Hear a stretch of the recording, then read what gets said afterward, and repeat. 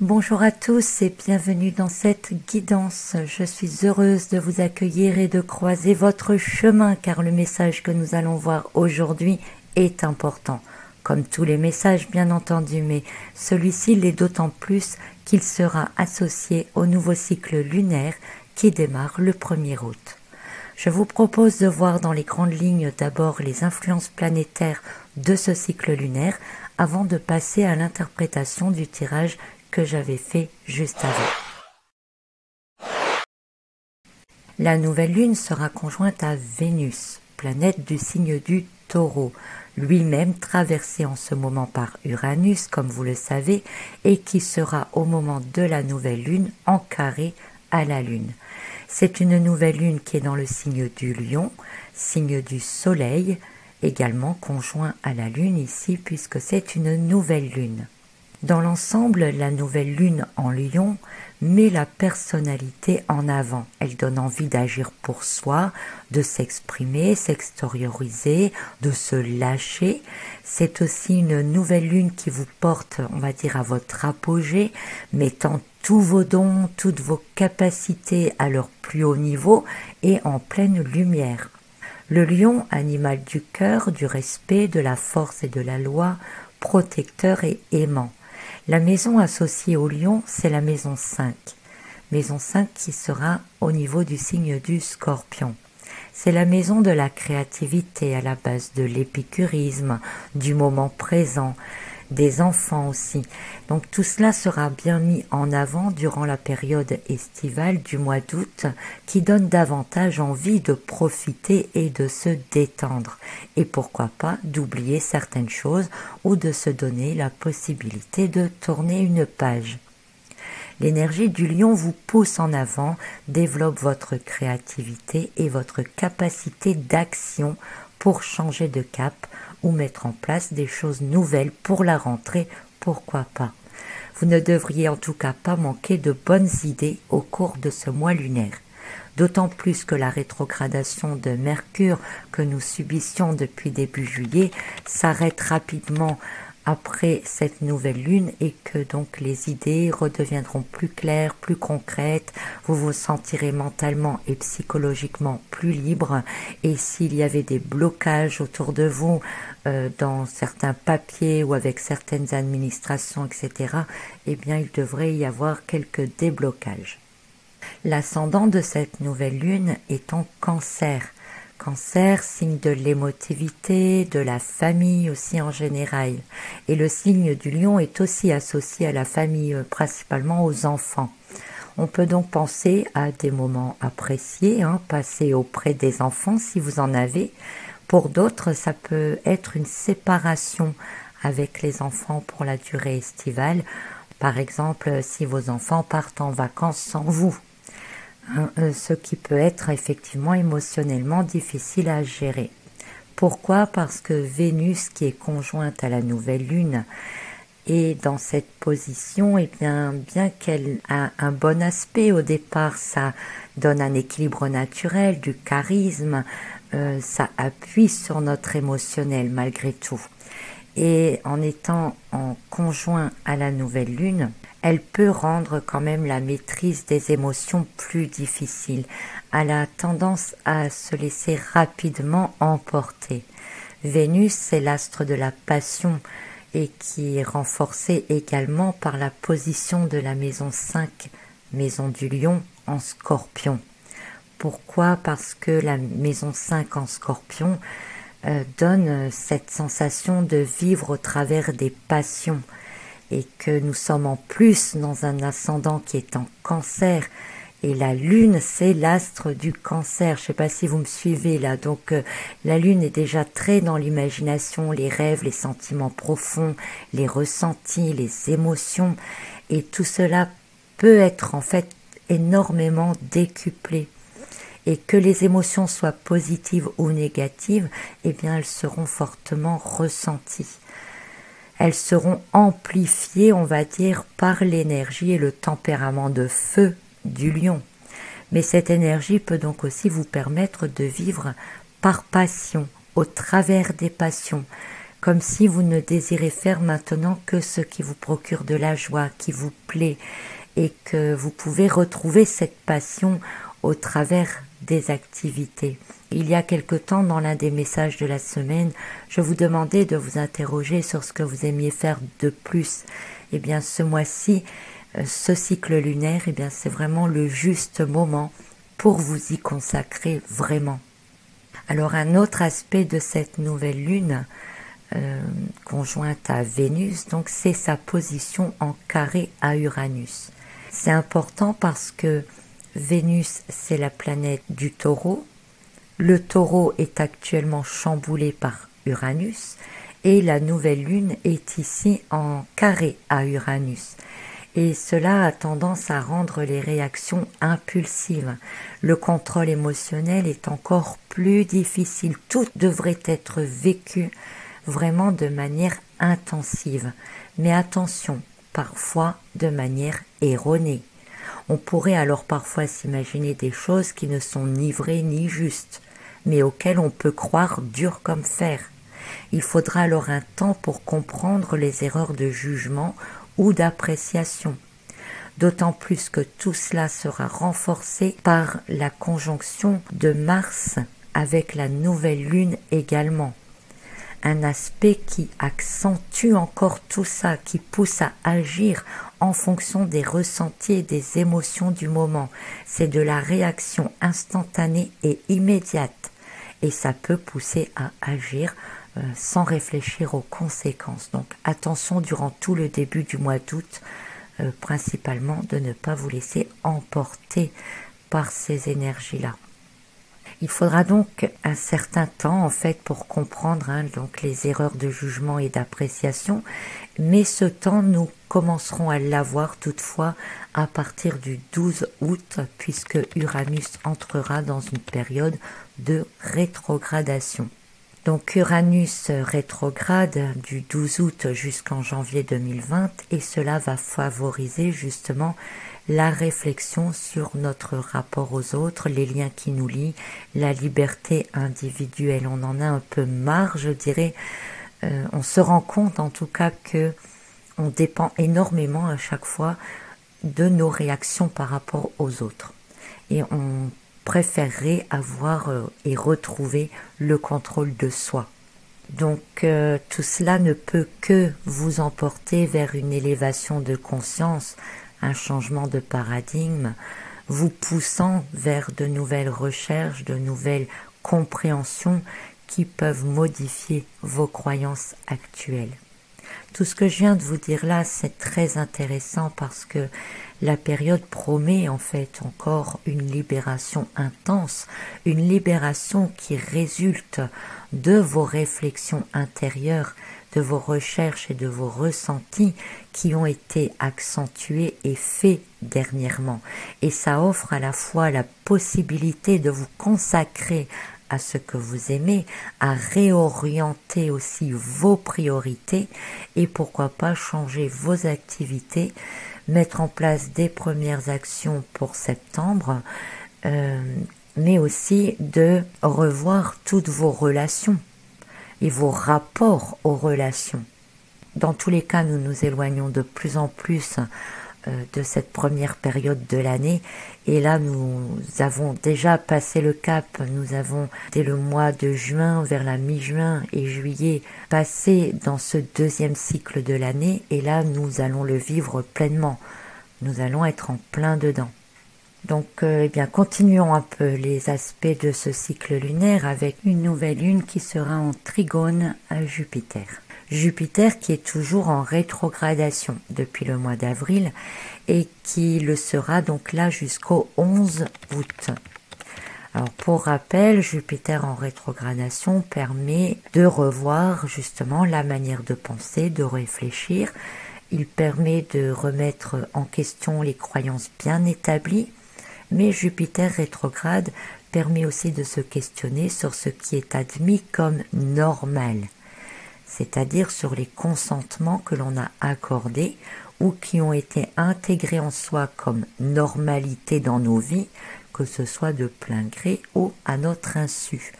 En gros, si on a voulu nous faire avaler plein de choses euh, ces derniers temps, eh bien là, on va commencer, enfin depuis le mois d'avril de toute façon, et là jusqu'au 11 août, on est vraiment en train de se dire, euh, mais oh, euh, on a voulu me faire croire à ça ou ça ou ça, c'est quoi ce délire? Un peu comme si on se réveillait là. Donc ça, c'est depuis le mois d'avril et là jusqu'au 11 août.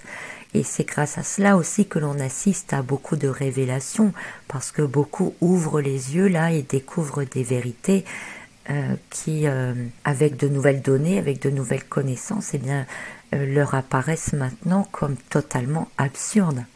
Donc c'est grâce à cela hein, que les consciences peuvent évoluer et qu'elles font un bond en avant. C'est parce que on est capable de voir ce qui va et ce qui ne va pas, ce qui est normal et ce qui ne le semble pas.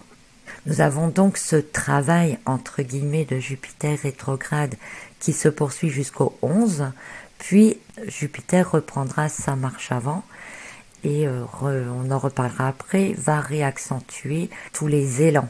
Donc cette fin de rétrogradation de Jupiter, eh bien, elle prend le relais par la rétrogradation d'Uranus, qui lui sera en retrait à partir du 12. Donc selon ce qui est, toujours entre parenthèses, découvert, il peut y avoir effectivement de la révolte, surtout si les découvertes jouent sur les émotions profondes. Un peu comme si, euh, bah voilà, on a joué avec vos émotions depuis un bon moment. Euh, depuis quelques mois, vous vous posez des questions, vous vous remettez en question, vous découvrez des nouvelles choses. Et puis là, ça explose. Hein, il y en a marre. On veut vraiment euh, tout ce qui a été mis en lumière, on va dire, par Jupiter, casser tout ça. On veut casser tout ça et on se révolte pour pouvoir passer à l'action vers d'autres choses. Donc après le 11 août, nous avons donc cette rétrogradation d'Uranus, le 12, et Jupiter qui reprend en parallèle sa marche avant. Donc on a aussi les actions euh, liées à l'énergie du signe du lion. On a les énergies de Vénus, d'Uranus rétrograde, de Mars, qui seront tout accentués. Donc on va assister, hein, c'est pas difficile à deviner, mais avec tout ça, on ne peut que assister à une nouvelle montée en puissance des énergies et principalement avec un summum entre le 11 et le 15 août.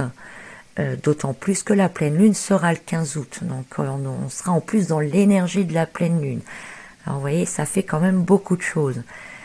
Donc euh, il est possible durant toute cette période de ressentir pas mal de choses, mais aussi des angoisses, et d'assister à des changements soudains, des retournements de situation, des décisions prises dans le feu de l'action, et dans tous les domaines. Il n'y a pas un domaine qui risque d'être plus privilégié que d'autres, quoique malgré tout le domaine sentimental et relationnel, puisqu'on est quand même ici avec une forte influence de Vénus, mais euh, dans l'ensemble, tous les domaines peuvent être concernés. Et c'est surtout la rapidité des événements qui peut vous prendre par surprise et qui va donc chambouler le côté émotionnel. Un émotionnel dont je vous rappelle qu'il est important, je vous fais travailler là-dessus depuis le début de l'année, d'apprendre à gérer pour vous éviter justement à chaque fois de faire tout et n'importe quoi. Je vous invite à revoir toutes ces vidéos-là si besoin. Également attention sur les routes, hein, bien entendu, surtout à la période du 15 août, ça va de soi. L'impulsivité, elle peut se retrouver dans tout, hein, que ce soit dans la conduite, les dépenses excessives, les réactions émotionnelles, les relations, euh, euh, tout quoi. Voilà, donc euh, comme pour tout, eh bien, ce nouveau cycle lunaire, eh bien, il a quand même de très bons côtés, hein, qui, comme nous l'avons vu au début, sont liés à la détente, au fait de pouvoir se consacrer à ce que l'on aime, de mettre en place des choses avec beaucoup d'enthousiasme. Certains auront l'énergie du lion pour passer le cap, ils oseront enfin franchir le pas, surtout s'ils se sentaient encore retenus ou pris dans certaines limites. Là, il va y avoir des déblocages, donc euh, il y a des bons en avant qui vont pouvoir être faits, et ça, c'est important. Dans ces autres aspects, donc les tensions, l'impulsivité, les réactions vives peuvent mettre nos nerfs à fleur de peau. Et le mieux, c'est d'essayer d'utiliser toutes ces énergies-là dans votre créativité qui, elle, sera aussi accentuée plutôt que de gaspiller toutes ces énergies dans des conflits et surtout d'en souffrir. C'est donc un très bon cycle lunaire pour jouer à l'alchimiste et votre mission, si vous l'acceptez, c'est de transformer tous les élans de tension, de conflit, d'impulsivité dans des objectifs positifs. Alors avant de faire cette brève étude de la nouvelle lune, j'avais tiré une carte du jeu de la voie de la conscience. Et je vous avoue que j'avais été très surprise par la carte que j'avais tirée. Une carte dont rien que le nom me donnait des frissons et avec comme première réaction de ma part une forme de rejet. Parce que c'est le genre de carte qu'on n'aime pas toujours voir. Maintenant que j'ai vu les positions astrales, que je vous les ai expliquées, eh bien je comprends mieux pourquoi j'avais tiré cette lame. Et cette lame, eh bien c'est celle de la faucheuse. N'ayez pas peur. Bien que les traits ne soient pas fins, on reconnaît facilement le personnage. Hein. Ici, la faucheuse, on peut la comparer également à la lame 13 du tarot de Marseille, l'arcane sans nom. Et elle porte bien son nom. On fauche ce qui est au-dessus pour renaître ou reconstruire. On balaye l'ancien définitivement et rapidement. C'est clairement la page qui se tourne. La fin certaine de quelque chose et le début d'autre chose. La faucheuse, elle tombe essentiellement bien également pour ce mois d'août, puisque c'est la période aussi des moissons. Donc ça correspond parfaitement, après réflexion, à cette énergie de ce mois. Alors avec la faucheuse, on ne vit plus sur le passé.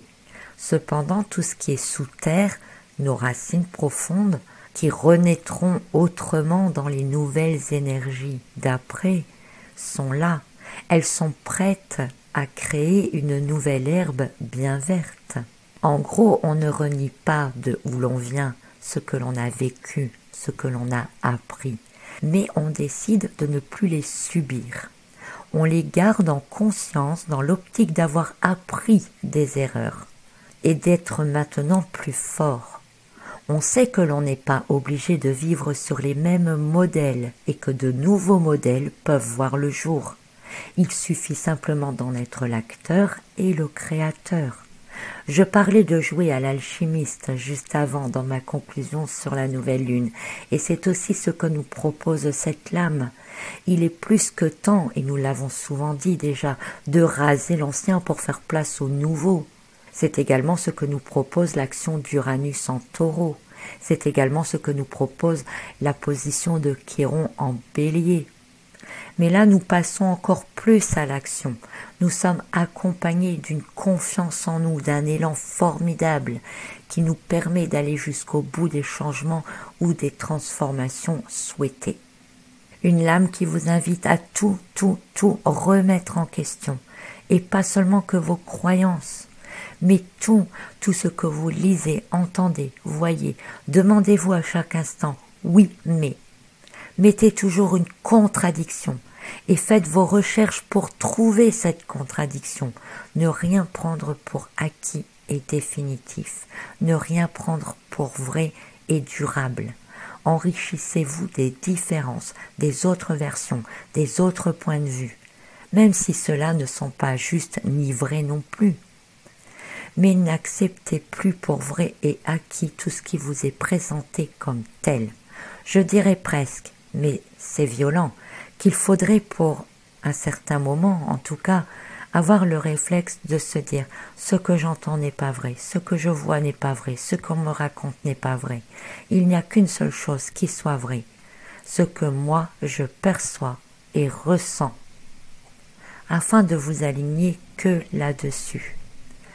Grâce à l'énergie en plus du signe du lion, vous ne pourrez qu'être aligné avec vos ressentis, vos intuitions grâce à la nouvelle lune et à ce que vous ressentez grâce à l'énergie du lion liée au chakra du cœur. Pendant une période, ne faites confiance qu'en vous-même.